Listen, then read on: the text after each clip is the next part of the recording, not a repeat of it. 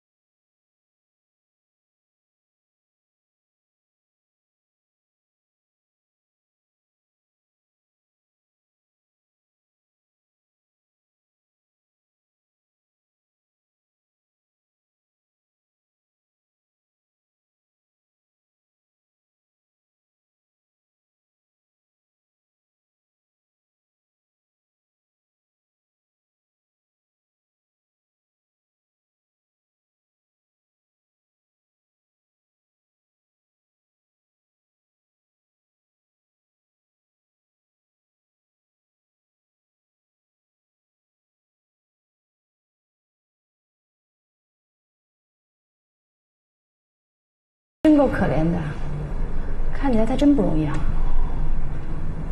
哎，这钱让他赔啊？赔他个屁！走，干嘛去？找那混蛋去啊！路费里口供，走。什么意思？欺恶扬善？全是给你面子啊！行啊你！走。你们有没有搞错啊？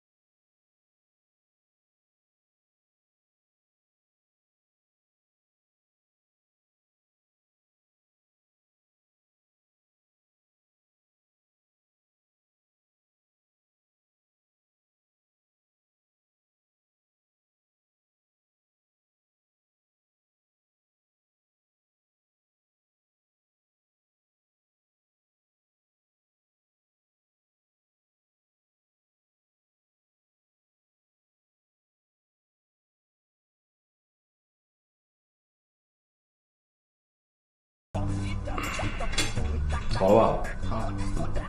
来，手印摁名字上。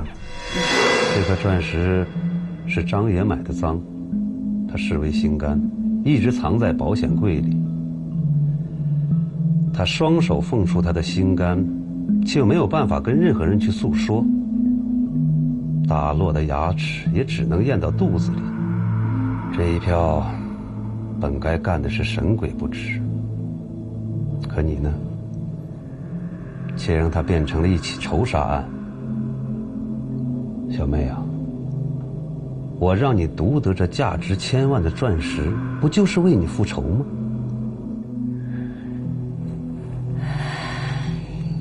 我本来没想杀他的。他曾夺去你的贞操，逼你为娼。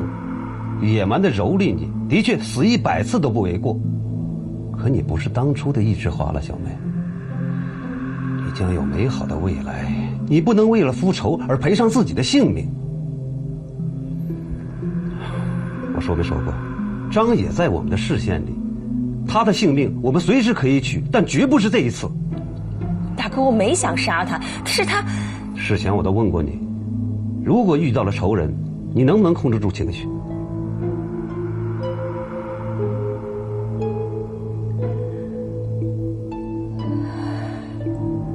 对不起，是我没有控制好自己的情绪，让他认出我。哎，那法典的复印件。专案组的人怎么说？凶手是个男的，杀人很职业，练过功夫，肯定是张野的仇人，或者受雇于张野的。侦查方向呢？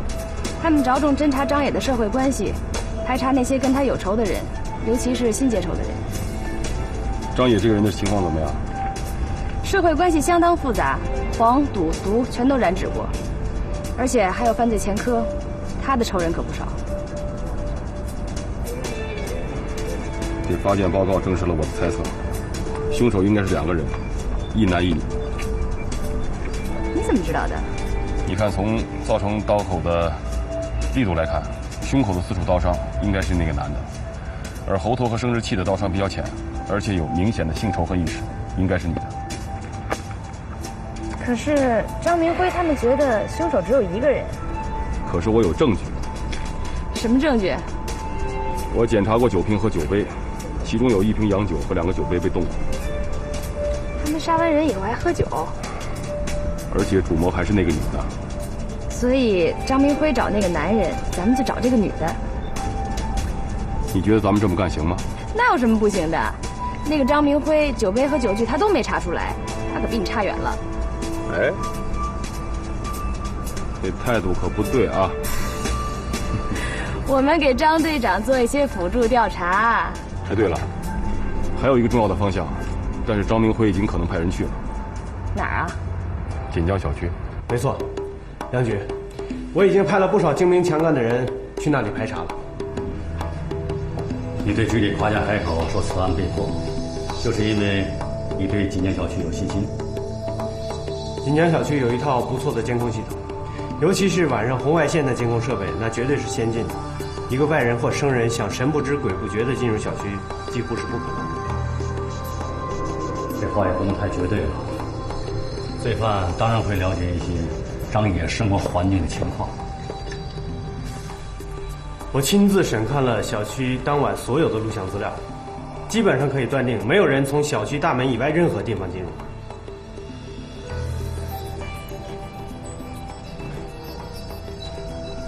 你的意思是说，罪犯即使不是本小区内的，也一定在小区内有内应？这个锦江小区是别墅区。居住人口不多，这给我们的侦查工作带来了方便。我相信，线索很快就会显现出来。你走的路子完全正确。啊，还有，梁局，我已经传唤雷鸣了，很多外地有案底的人来这儿，都是投奔他的。林警官，我保证，我交这帮朋友都是些讲义气的，跟那些杀人放火、强奸贩毒的事儿从不沾边。你在江阳认识的那几个烂人，我都认识。我让你把最近来你这儿的外地人都写下来。林警官，我那帮朋友没犯法，写人家干嘛？我这义气不全丢尽了？义气？你跟讲义气是吧？信不信我扣你四十八小时，我看你还讲不讲义气？林警官，我冒昧的问一句，这样做合法吗？雷鸣，我告诉你。我现在对你进行的是带有黑社会性质犯罪的例行调查，你说合不合法？你要是不想当犯罪嫌疑人，你要是还想在江阳混下去，哎，得得得得，行，我给你写还不行吗？反正最近外地也没来朋友。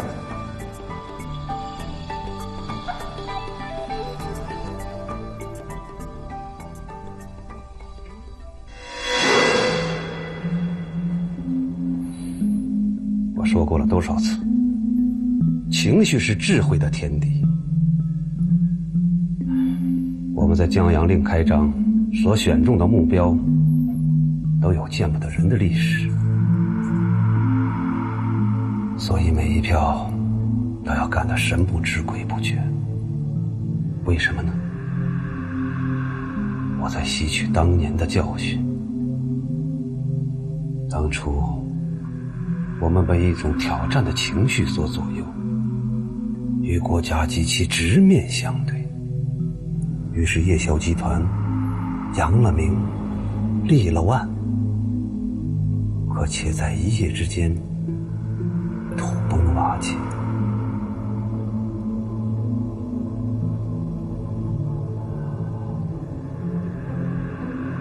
他们就像我的学生一样，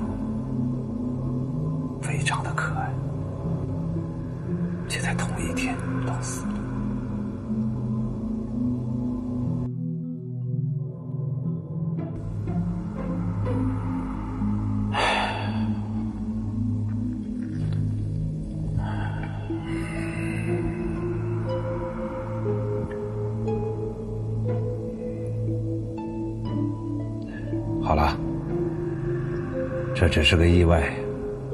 好在警方认为凶手只有一个人，是个男性。警方在排查锦江小区，那三哥不会有问题吧？他会最先被排除嫌疑的，因为那天他和客户在外地追款。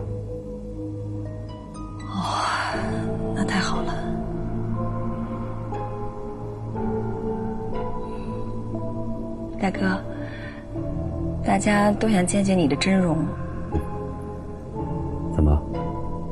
先听我的声音还不过瘾吗？现在还不到时候，现在有你露面就够了。呃，石敢呢？哦，石敢，他在家里闷得慌，出去了。还是让他少走动啊。知道。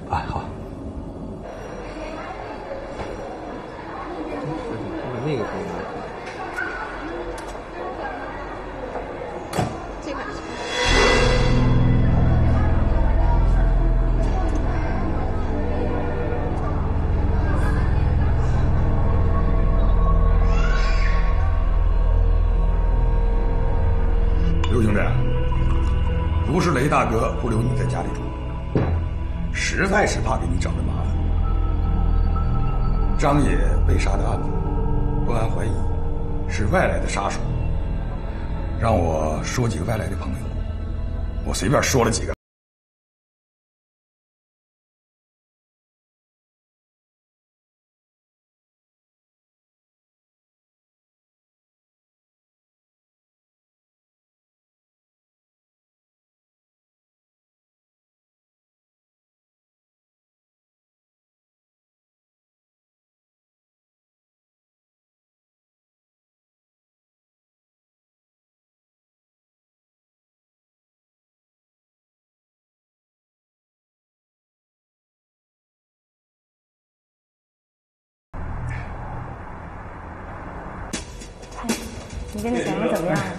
也真帅啊！一般般吧。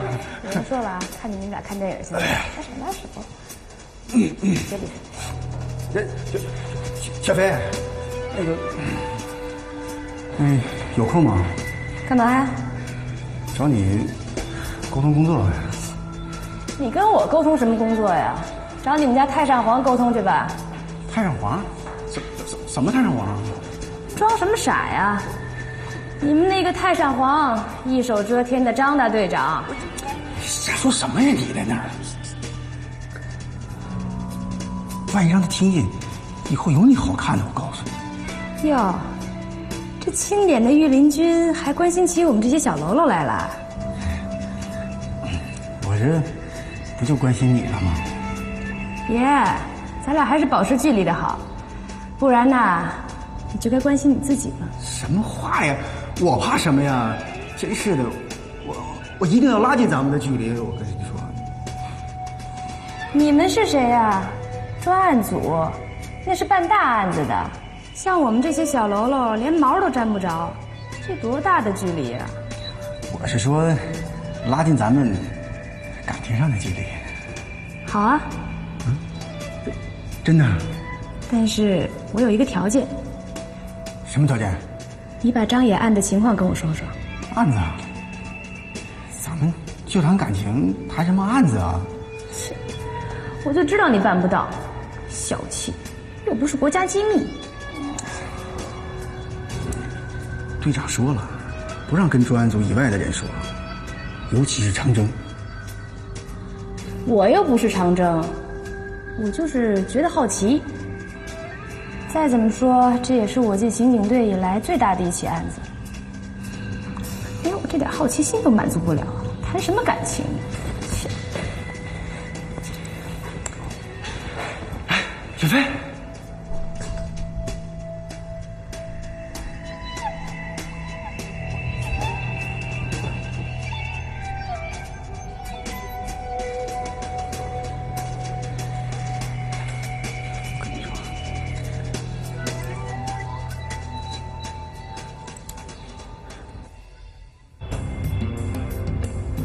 先说说吧，你从林汉那儿套了什么情报了？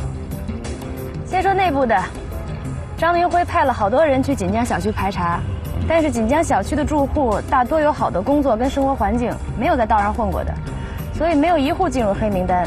哎，张明辉急了。张野的情况了解多少？张野这个人原来是道上混的，后来，呃，欺横霸市，赚了一些钱，就干上了娱乐业。开了一家酒店和一个夜总会，主要还是以组织卖淫挣钱。因为跟人家争地盘被打成重伤，离开江阳五六年了，最近才回来的。别墅也是新买的，听说是要重操旧业。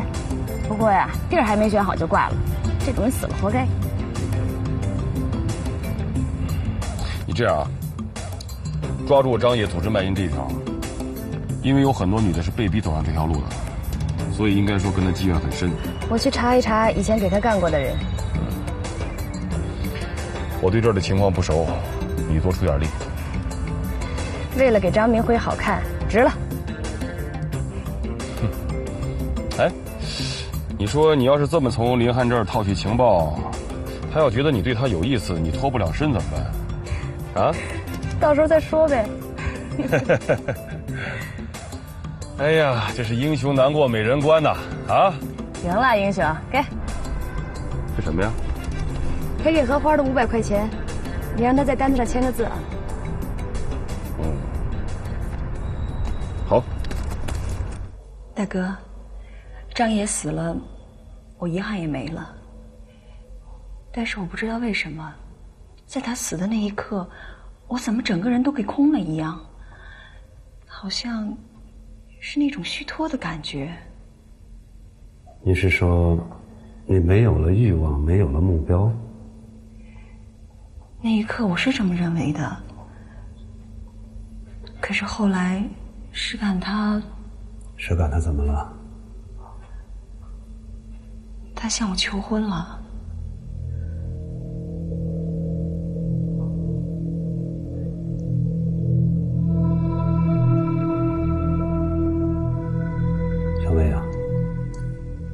你的心情我理解，但你觉得这现实吗？开始我是觉得不现实，可是石敢说的他每一句话都是那么真诚，他打动了我。你知道，在这个世上，有两个人最疼我了，一个是您，您对我的恩情，我这一辈子都忘不了，我也还不清。再一个。就是诗感，诗感让我有了生的欲望，又让我重新找到了幸福的憧憬。大哥，您知道小妹命苦，从出生就不敢想有幸福。可是石感，他真的让我有了希望。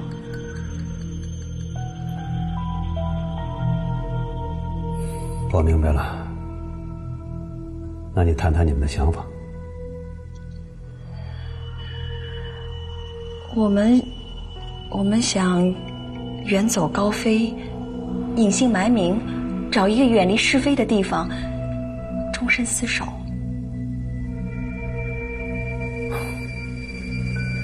好吧，我祝福你们。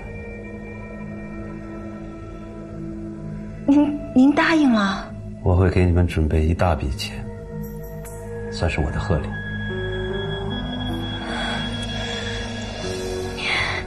大哥，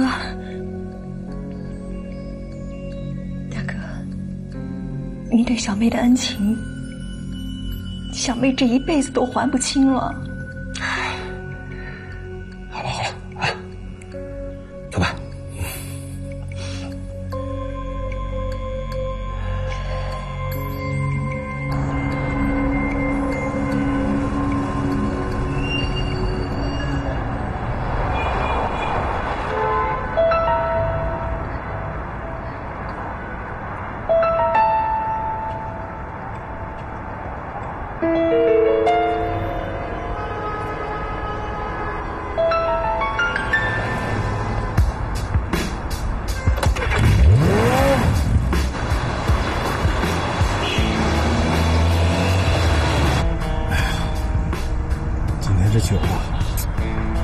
喝的有点猛了。哎，反正还有时间呢，要不我们请刘兄弟去喝杯茶，然后再送你去车站，怎么样？客随主便，喝什么都行。好。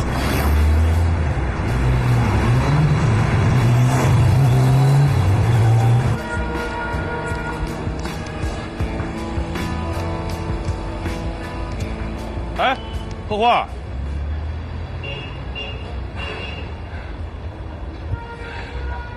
你怎么在这儿呢？找林老板？啊，我想管他借点钱，他没在。借钱？是啊，我我都想好了，你都帮我做担保了，不能再给你添麻烦了。嗨，说起这事儿，我还想起来了。来，这个你拿着。这什么意思呀？哦，那个男的他承认了，他要非礼你，这是他赔你的精神损失费还有误工费五百块钱，不多，你先拿着吧。来，在这个回执上签个字。哎，这儿啊？对。不是，我还是没明白这这到底怎么回事啊？他呀是怕你起诉他，你要真起诉他的话，他麻烦就更大了。可是我没说要起诉他呀。哎。谁让他欺负我邻居来着？那我还不弄回几袋奶粉钱呢！南征，你真没想到你会这么做。你不是说过吗？人得讲点私人感情，是不是？谢谢你。谢什么呀？都是朋友。明天早晚，我先走了。哎，哟，在这儿干嘛呢？啊，不进去。我这刚跟荷花说两句话。进里喝一杯杀一盘呗。好啊啊！好，林老板，林老板，啊，这位是咱们黑龙江的朋友，刘学。哦哦，你好，你好。因为刘兄弟今天走，我们给他践行。这酒喝完了，得喝点茶润润嗓子呀。哦，那里面请啊。哎，还有林老板，能不能借我们点钱呢？回头还你。挺为难的，林老板。你可要记住，是谁在保你们的平安？你们保平安？你们干什么的？你是哪根葱啊？我是警察。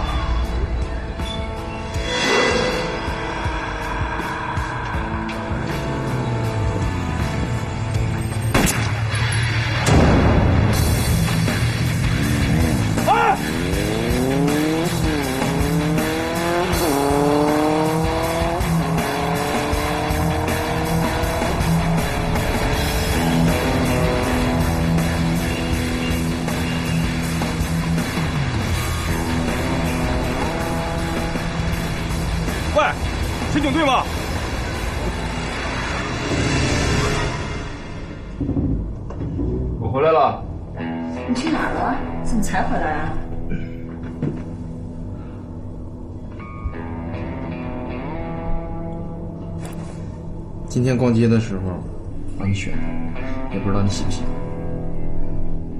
你送我的，我当然喜欢了。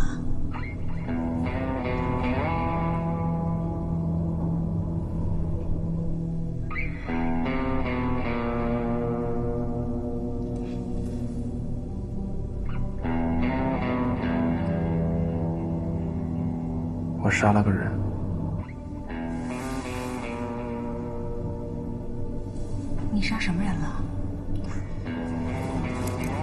记得我跟你说过的，我找的那个仇人。你碰到他了？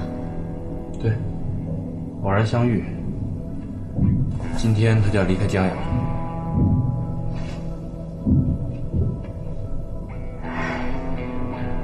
你为什么不告诉我？不跟我商量一下呢？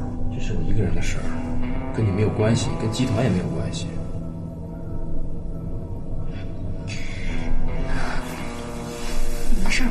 事吗？可是机会难得，我找了他这么多年，如果今天他跑掉的话，我真的就再也没有机会了。所以我没有时间跟你商量。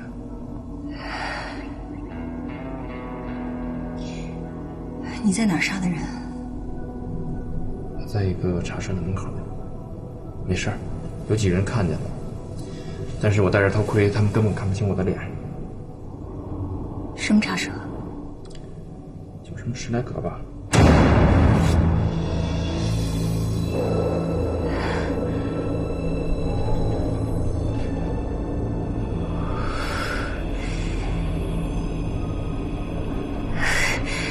不会的，你不会在那儿杀人。你怎么会在那儿杀人呢？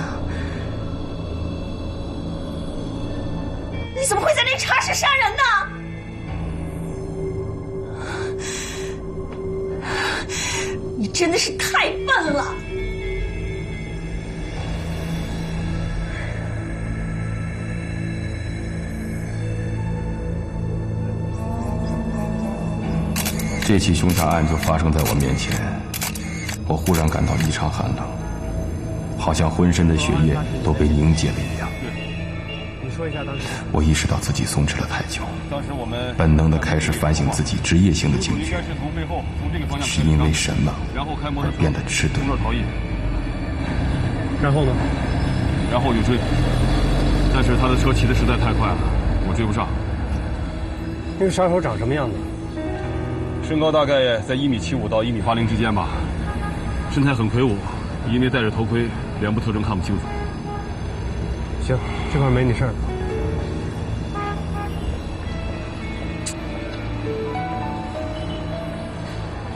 没事吧？没事。到屋里坐一会儿啊。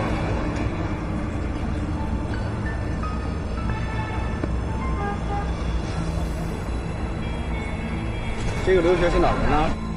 黑龙江。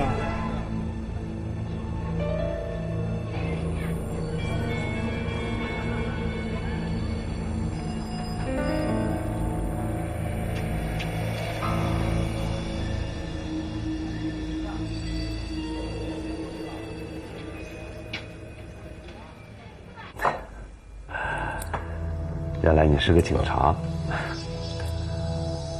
我知道你们生意人不太愿意跟警察打交道，所以就没跟你说，抱歉。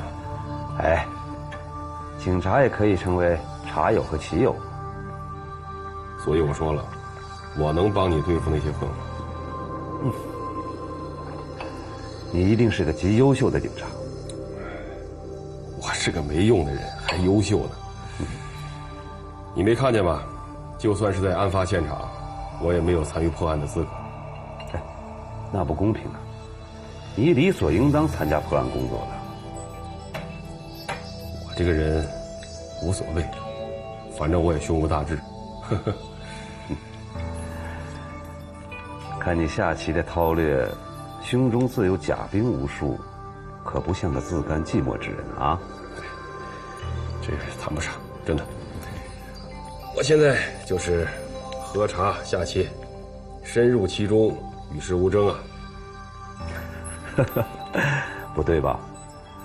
刚才看你玩命去追那杀手的样子，还能说是与世无争吗？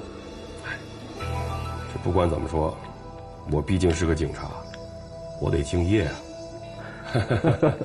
嗯，这倒是个令人敬佩的标准啊。呃，那张队长为什么不喜欢你呢？